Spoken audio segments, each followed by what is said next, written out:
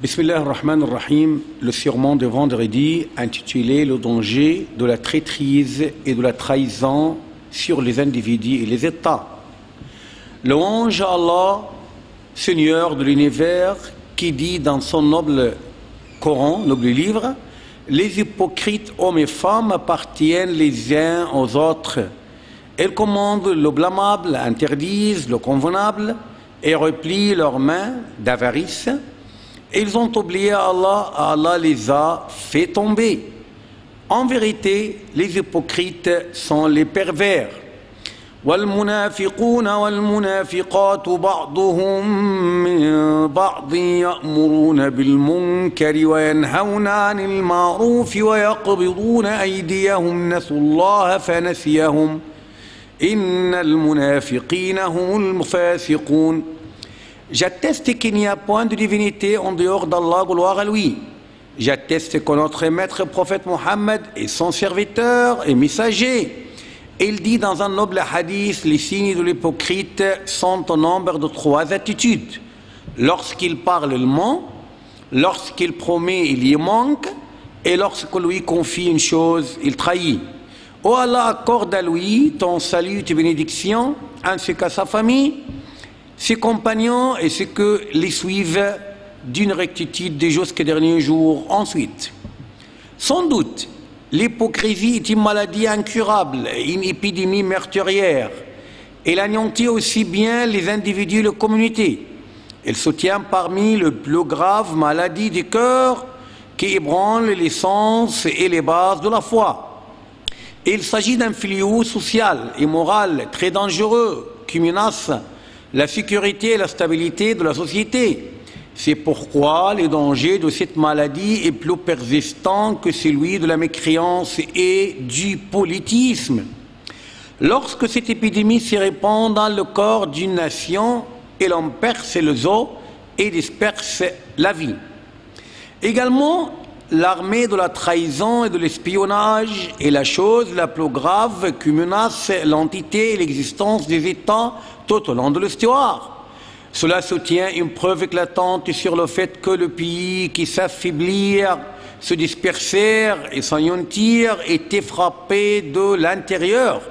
Les espions, traîtres et mercenaires avaient, eux, au détriment de leur patrie, un grand rôle dans ce contexte au fil de l'histoire humaine. Toujours les dangers qui menacent les États de l'air intérieur sont plus graves que ceux venant de l'extérieur. D'ailleurs, l'hypocrisie a deux types, majeurs et mineurs. La première, majeure, est la plus grave. Il s'agit de l'hypocrisie doctrinale, dans l'auteur manifeste l'islam en dissimulant la mécréance. Ce type conduit son auteur au gouffre le plus profond de l'enfer. Le deuxième type, mineur, est l'hypocrisie pratique. Il s'agit d'une forme de délinquance comportementale et d'un au plus des signes de des hypocrites. Cela paraît dans le fait qu'on manifeste la rectitude et se comporte à l'inverse. Ce type ne déraille pas complètement de la religion. Pourtant, c'est une voie vers l'hypocrisie majeure, à moins que son auteur non repente. Le noble Coran et la pure sonne prophétique nous parlent à plusieurs reprises des signes caractéristiques, moralité et conspiration des hypocrites. Nous observons que celle-ci ne change point au fil du temps ni en fonction de contrées. On cite parmi les caractéristiques des hypocrites ce qui suit. Le mensonge, le manquement aux promesses, la trahison et l'acharnement des animosités. Ce sont les plus mauvais signes desquels le prophète sallallahu alayhi wa sallam qualifia les hypocrites. À ce propos, il dit il y a quatre signes lorsqu'ils se réunissent en une personne, celle-ci est donc purement hypocrite. Lorsqu'elle en a une, euh, lorsqu'il en a un, elle a donc l'un des attributs de l'hypocrisie jusqu'à ce qu'il abandonne. Lorsqu'il est confié, il trahit. Lorsqu'il parle, il ment. Lorsqu'il donne une promesse, il y manque. Et lorsqu'il se livre à l'animosité, il s'y acharne. C'est lui qui réunit ces signes Oh, un d'eux, il est donc hypocrite. Ces signes nuisent aux intérêts de la communauté et risquent de les branler. Trop souvent, l'hypocrisie, l'hypocrite ment pour camoufler aux autres pour qu'ils croient la véracité de ce propos et acte. C'est dans ce contexte qui s'inscrit le verset il y a parmi les gens celui dans la parole sur la vie présente te plaît et qui prend Allah à témoin de ce qu'il a dans le cœur, tandis que c'est le plus acharné des spotteurs. ومن الناس من يعجبك قوله في الحياة الدنيا ويشهد الله على ما في قلبه وهو ألد الخصام Chaque fois, quand cite l'hypocrisie et la ruse dans le noble Coran, et c'était toujours en leur compagnie le mensonge. Allah, gloire à lui, dit Ils cherchent à tromper Allah et le croyant, mais ils ne trompent qu'eux-mêmes et ils ne s'en rendent pas compte. Il y a dans leur cœur une maladie de doute et d'hypocrisie et Allah laisse croître leur maladie. Ils auront un châtiment douloureux pour avoir menti. C'est-à-dire, يخادعون الله والذين آمنوا وما يخدعون إلا أنفسهم وما يشعرون في قلوبهم مرض فزادهم الله مرضا ولهم عذاب أليم بما كانوا يكذبون Le prophète, salut bénédiction sur lui, mit en garde contre le mensonge en en montrant les mauvais effets en disant évitez à tout prix le mensonge. Il conduit à, la perversité qui conduit à son tour à l'enfer. L'homme, à force de mentir, opté pour le mensonge, sera un esquiri menteur auprès d'Allah. Le prophète, bénédiction sur lui, fait interroger le croyant pourrait-il être peureux? Il répondit oui. Le croyant pourrait-il être avare? Il répondit oui. Le croyant pourrait-il être menteur? Il répondit, il répliqua non. Abu Bakr qu'Allah dit la véridicité est une honnêteté et le mensonge est une trahison. La trahison, l'espionnage résulte de la rupture des liens de l'amour et une haine réciproque qui conduirait au conflit et à l'animosité ainsi qu'une corruption en matière de transactions. Le prophète, bénédictions sur lui, montra que la trahison sera pour son auteur une infamie et un regret au dernier jour. Il dit, lorsqu'Allah réunira les dévanciers les derniers, les derniers jours normalement, il lèvera à chaque traître un drapeau. On dérive, voici la trahison de tel, fils de tel. Le prophète, sallallahu alayhi wa sallam, sera l'adversaire de tout traître ce jour-là. Il dit à ce propos, je serai l'adversaire de trois types de, personnes les derniers jours. Un homme qui donna un serment à mon nom, puis et mon cas. Un homme qui vendit un homme libre en tant qu'esclave et en consommant le prix. Et un homme qui embaucha un ouvrier en prit le travail sans lui donner le salaire. La trahison majeure est le fait de trahir les patries et les vendre à vil prix, ce que fait le groupe extrémiste, leurs financiers et partisans qui vendent les pays à vil prix. Parmi les attributs contre lesquels l'islam met en garde, il y a l'acharnement et l'animosité. C'est bien la base de tous les maux et le blâme. C'est le moyen de se dévier de vrai par rendre fou le vrai et vice-versa. Allah, gloire à lui, qualifia l'acharnement et l'animosité, la dispute vieillante, en disant il y a parmi les gens celui dont la parole sur la vie présente te plaît et qui prend Allah à témoin de ce qu'il a dans, le cœur, tandis que c'est le plus acharné disputeur. D'après Aïcha qu'Allah l'agréé, le prophète sallam dit La personne la plus haïe auprès d'Allah est le disputeur acharné. L'attribut le plus adéquat des hypocrites est celui du double visage. À notre temps, ils ont dépassé largement cette qualification pour avoir mille visages. Ils sont les gens les plus méchants. À ce propos, le prophète sallam dit Vous trouvez le plus méchant et celui à double visage. Ils viennent en groupe d'un visage et un autre d'un autre. Parmi les signes de l'hypocrisie, il y a la corruption sur la terre, tout en prétendant la réforme. Allah gloire à lui dit, et quand on leur dit ne se met pas la corruption sur la terre, ils disent au contraire, nous ne sommes que des réformateurs. Certes, ce sont eux les véritables corrupteurs, mais ils ne s'en rendent pas compte. وإذا قيل لهم لا تفسدوا في الأرض قالوا إنما نحن مصلحون ألا إنهم هم المفسدون ولكن لا يشعرون La corruption vient sous plusieurs formes, donc semer la peur dans le pays, répandre la terreur aux âmes de croyants, insérer les idées erronées et les mauvaises conceptions, répandre la sédition parmi les gens. À ce propos, Allah gloire lui dit, s'ils étaient sortis avec vous, ils n'auraient fait qu'accroître votre trouble et jeter la dissension dans vos rangs, cherchant à créer la discorde entre vous, et il y a, il y en a parmi vous qui les écoutent, et Allah connaît bien les injustes.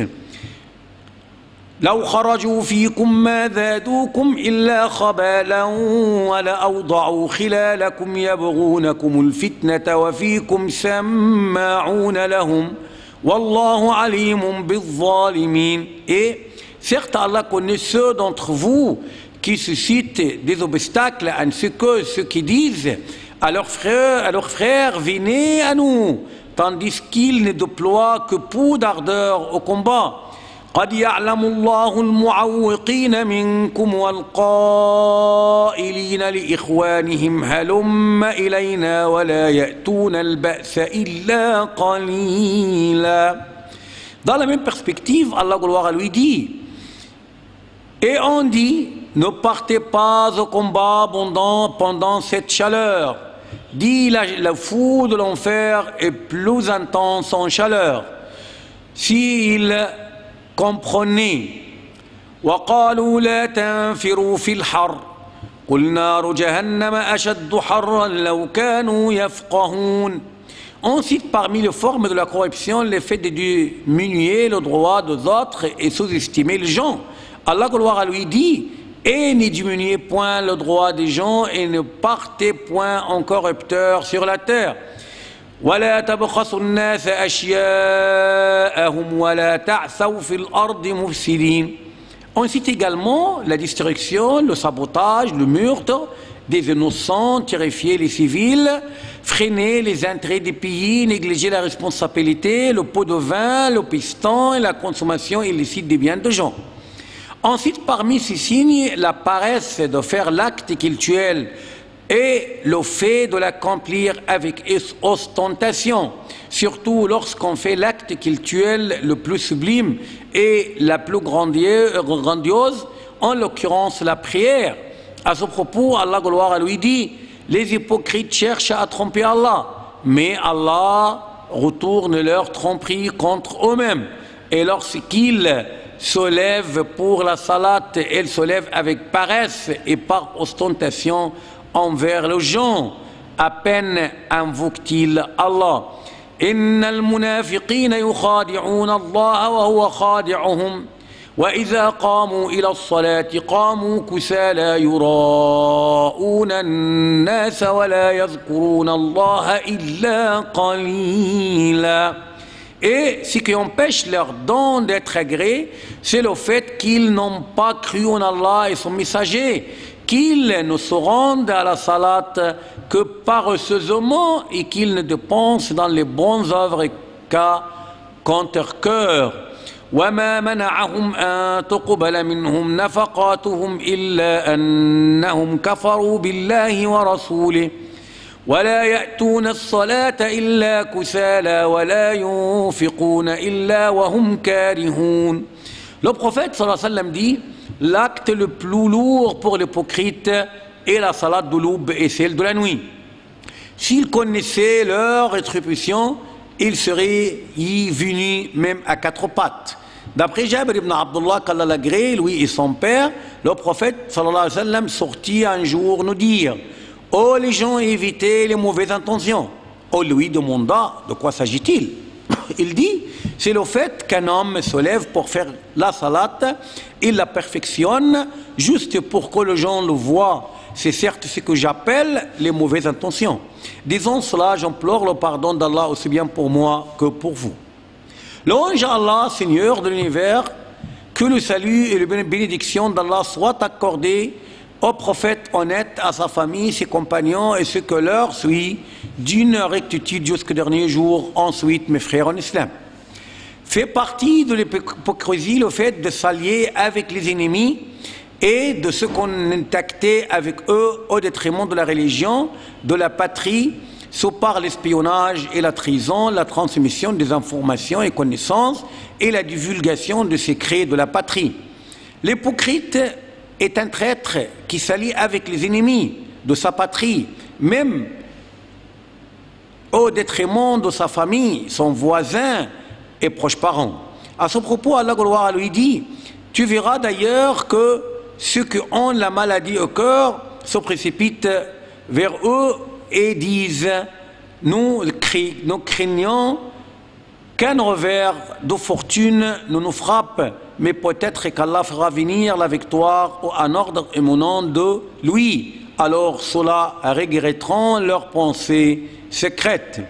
فترى كثيرا منهم يسارعون فيهم يقولون نخشى أن تصيبنا دائرة.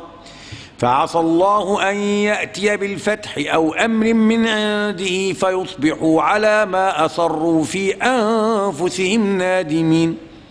Parmi vous, il y aura certes quelqu'un qui tardera à aller au combat et qui, si un malheur vous éteint, dira Certes, Allah m'a fait une faveur en ce que je ne me suis pas trouvé en leur compagnie. Ici, une grâce qui vous éteint de la part d'Allah, il se mettra certes à dire comme s'il n'y avait aucune affection entre vous et lui. Quel dommage Si j'avais été avec eux, j'aurais alors acquis un gain énorme. فإن أصابتكم مصيبة قال قد أنعم الله علي إذ لم أكن معهم شهيدا. ولئن أصابكم فضل من الله ليقولن كأن لم تكن بينكم وبينه مودة يا ليتني كنت معهم فأفوز فوزا عظيما.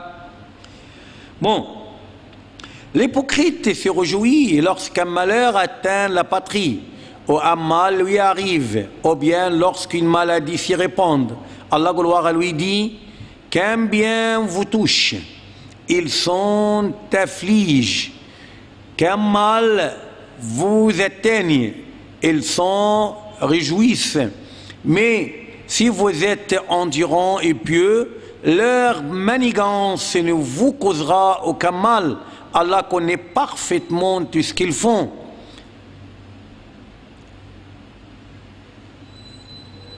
Bon, en outre, le mensonge, la trahison, la traîtrise, le manquement au pacte, aux promesses, l'excitation de l'opinion publique et la trahison de la religion, les nouveaux hypocrites ajoutent de nouvelles formes dans, le fait de manipuler la religion, de l'exploiter pour réaliser les intérêts de groupes qui cherchent à ponter la religion pour arriver au pouvoir. Pour ce faire, elles se servent de la religiosité apparente et celle politique pour s'attribuer de la foi et l'éloigner de leur adversaire. Elles veillent à avoir du couvert légal pour justifier leurs œuvres. Elles y ajoutent la trahison et le mépris de la patrie pour la vendre à vil prix. Allah, gloire à lui, menace de tels gens que la conséquence sera contre eux que la couronne d'Allah leur sera réservée aussi bien dans les Siba que dans l'au-delà. Ce qu'ils complotent pour piéger le musulman leur sera retombé. Allah gloire à lui dit et la mauvaise conspiration se retombera sur ses auteurs. Allah gloire à lui punit sous de l'hypocrisie majeur de la perplexité, de l'hésitation, de l'instabilité, de l'effroi et de la peur devant tout à faire. Où il dit, ils sont indécis contre, entre les croyants et les mécréants, n'appartenant ni aux uns ni aux autres. Or, quiconque Allah égare, jamais tu ne trouveras de chemin pour lui. مذبذبين بين ذلك لا إلى هؤلاء ولا إلى هؤلاء ومن يضلل الله فلا تجد له سبيلا Ils pensent que chaque cri est dirigé contre eux. L'ennemi, c'est eux. Prends-y garde qu'Allah les extermine comme les voilà détournés de droit chemin. يحسبون كل صيحة عليهم هم العدو فاحذرهم قاتلهم الله أنا يؤفكون Allah, gloire à lui, de tourner leur cœur, de comprendre d'après Allah, gloire à lui, ni d'après son prophète, à tel point qu'aucune guidée n'y arrive et aucun bien n'y fasse accès. Allah, gloire à lui, dit, c'est parce qu'en vérité, ils ont cru puis rejeté la foi, leurs cœurs donc ont été scellés de sorte qu'ils ne comprennent rien. ذلك بأنهم آمنوا ثم كفروا فطبع على قلوبهم فهم لا يفقهون Quant à leur châtiment dans l'au-delà, Allah gloire à lui dit Et parmi les bidouins qui vous entourent, il y a des hypocrites, tout comme une partie des habitants de Médine. Ils s'obstinent dans l'hypocrisie, tu ne les connais pas, mais nous les connaissons. Nous les châtierons deux fois puis ils seront ramenés vers un énorme châtiment. وممن حولكم من الأعراب منافقون ومن أهل المدينة مرضوا على النفاق لا تعلمهم نحن نعلمهم سنعذبهم مرتين ثم يردون إلى عذاب عظيم Le premier châtiment aura lieu dans la vie de Séba, alors que l'autre sera dans la tombe. Quant au grand châtiment, il se produira dans l'au-delà où Allah rassemblera les hypocrites et leurs semblables les méchants dans l'enfer. Allah gloire à lui dit, certes Allah réunira les hypocrites et les mécréants tous dans la gêne. إن الله جامع المنافقين والكافرين في جهنم جميعا Certes, les hypocrites seront dans le gouffre le plus profond de l'enfer et ils n'y trouveront et connaissent, exception est faite, pour ceux qui repentiront, se réformeront s'adhéreront au pacte d'Allah et suivront sincèrement la religion exclusivement à Allah, elles seront avec le croyant. Certes, Allah octroiera et aux croyants une immense rétribution. إن المنافقين في الدرك الأسفل من النار ولن تجد لهم نصيرا إلا الذين أتابوا وأصلحوا واعتصموا بالله وأخلصوا دينهم لله فأولئك مع المؤمنين وسوف يؤتي الله المؤمنين أجرا عظيما Pour bien sauver ou protéger les États, en maintenir l'entité, la cohésion la sûreté, il faut que le gardien de leurs citoyens fidèles et sincères, individus et instances se réunissent. Il faut que tous les efforts s'enchevêtrent pour exterminer les traîtres et les espions qui travaillent avec les ennemis. Il faut dénuder et scandaliser publiquement ces gens-là, les faire un exemple pour quiconque pense à emprunter la voie de la trahison et de l'espionnage. C'est pour préserver notre religion, notre patrie, nos honneurs, nos âmes et l'avenir de nos pays enfants. Avant tout, il faut satisfaire à notre Seigneur et protéger nos patries et pays d'être frappés de ce qui atteint les autres pays qui s'ébranlèrent sous le coup de traîtres et espions, croyant que ceux-ci sont faibles. L'estuaire des États en est la preuve. Ô Allah, purifie nos cœurs de l'hypocrisie, nos yeux de la malhonnêteté et préserve l'Égypte et ses habitants. Wassalamu alaikum wa rahmatullahi wa barakatuh, préparé et présenté par Dr Kamel Gadal.